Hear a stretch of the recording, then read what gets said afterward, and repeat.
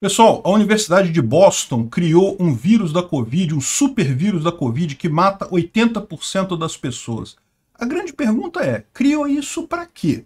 Essa notícia foi sugerida por William LF, Chapéu Prateado e várias outras pessoas. Obrigado aí ao pessoal que sugeriu as notícias. Obrigado a você que está assistindo o nosso vídeo. Se você gosta do nosso conteúdo, por favor, deixe o seu like, se inscreva aqui no canal. Né? Pois bem, olha só, essa notícia saiu em vários meios aí, inclusive no Daily Mail, que é um jornal é, relativamente conhecido lá na Inglaterra, né? E basicamente a coisa é o seguinte: uma, uh, uma equipe na Universidade de Boston fizeram uma combinação de dois, duas variantes da Covid. Eles pegaram os spikes da variante Omicron para quem não lembra, a variante Omicron é aquela que é, infectou muita gente, mas era muito leve. Você pegava com muita certeza a Covid, mas os efeitos que ela tinha no seu corpo eram muito pequenos. Então, é, é, é lógico, houve casos de morte pela Omicron, houve casos mais graves, mas, assim, na média, as, as infecções eram menos pronunciadas com a Omicron. A Omicron pegava muito fácil, mas você não tinha grandes efeitos dela que, que eles fizeram? Pegaram as proteínas spike da Omicron e colocaram no vírus original, naquela cepa original da Covid, que era bastante danosa. Essa sim causava muitas mortes, a primeirona na Covid, né? A primeira, é, é, o vírus não modificado. E essa experiência, quando eles aplicaram isso em ratos de laboratório, 80% dos ratos morreram. Por quê? Porque a, a, infecção era muito mais fácil, infectava por qualquer coisa, graças ao spike da, da cepa da Omicron, e a, o efeito no corpo era muito pior, porque era o efeito da, do vírus original. Né?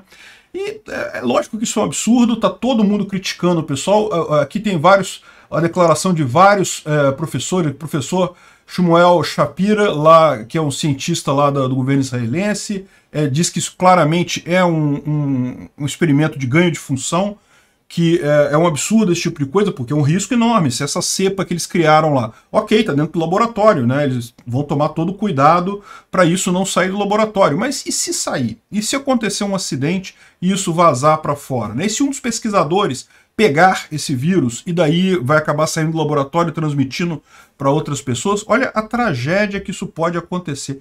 E aí a grande questão é para que fazer isso? Por que fazer esse tipo de, é, de experiência de ganho de função com esse tipo de coisa? Né? Eu, sinceramente, eu fico me perguntando mesmo, será que esse pessoal está querendo fazer chantagem porque você pode pensar uma coisa dessa, né? Olha só, ou eu ou me dá um milhão de dólares, eu vou soltar esse troço aqui, vamos ter mais uma outra pandemia de Covid agora que mata muito mais do que o original.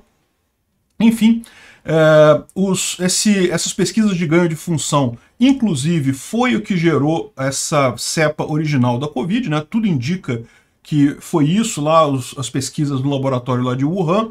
E nos Estados Unidos isso é proibido já desde 2017. Então ele não poderia, eles não poderiam estar fazendo esse tipo de coisa em laboratório americano, mas estavam fazendo em laboratório americano, né? É, tá aqui é, um gráfico mostrando como é que foi a experiência que eles fizeram e que uh, matou 80% dos roedores, ou seja, combina uh, a facilidade de você pegar a doença da variante Omicron com a severidade dela da variante original da cepa original da Covid. Né? E, de novo, a grande questão que fica é para que fazer isso? Né? Dá a impressão que realmente esse pessoal está querendo manter o mundo é, refém desse tipo de gente. Né? É uma situação preocupante, realmente. Eu vejo isso como uma coisa preocupante porque é, eu sou um cara muito pró-ciência. Eu acho que a ciência sempre leva a gente para coisas melhores.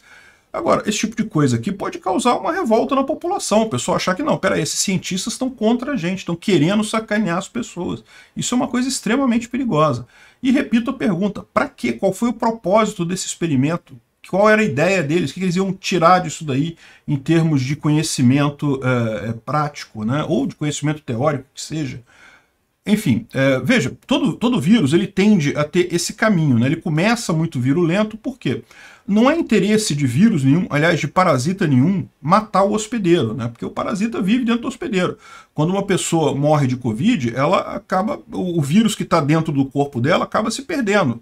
Então, o, o, parasita ele não quer matar o hospedeiro. Mas o que, que acontece? É, é, geralmente esses vírus eles transmitem de uma espécie para outra. Então, quando eles chegam na espécie nova, justamente por eles não conhecerem essa nova espécie, por eles não terem essa, uh, essa uh, uh, capacidade de manter o hospedeiro vivo, eles acabam causando muito dano e acabam gerando esse tipo de problema, né? acabam gerando é, é, é, esse tipo de, de, reação muito forte, muito mais forte do que gostariam.